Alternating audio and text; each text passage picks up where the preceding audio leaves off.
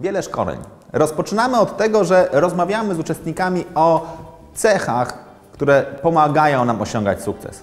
Cztery czynniki sukcesu to nic innego jak pewien zestaw osobistych kompetencji, które sprawiają, że każdego jednego dnia łatwiej nam osiągać sukces w sprzedaży, w życiu osobistym czy w sporcie.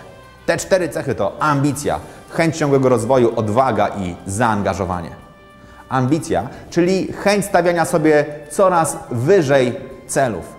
Chęć ciągłego rozwoju to budzenie się rano, aby każdego kolejnego dnia być lepszym. Odwaga to możliwość i chęć stawienia czoła swoim lękom i zaangażowanie to konsekwentne myślenie z perspektywy, co jeszcze można zrobić dla swoich współpracowników i dla klientów.